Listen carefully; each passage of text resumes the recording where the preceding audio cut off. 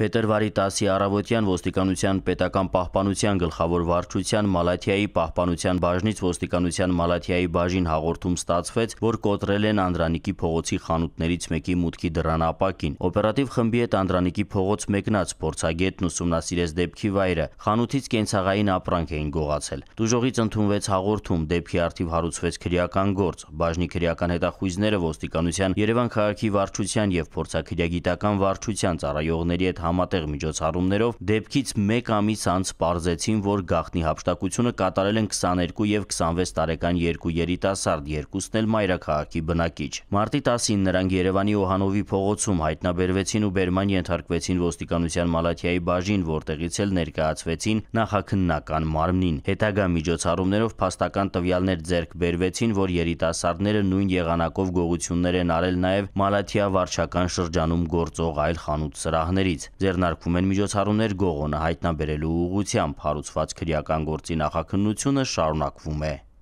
Ծանուցում ենթադրյալ հանցանքի մեջ կասկածվողը կամ մեղադրվողը համարվում է անմեղ, քանի դեռ նրա մեղավորությունն ապացուցված չէ Հայաստանի Հանրապետության քրեական դատավարության օրենսգրքով սահմանված կարգով՝ դատարանի օրինական ուժի մեջ մտած դատավճռով։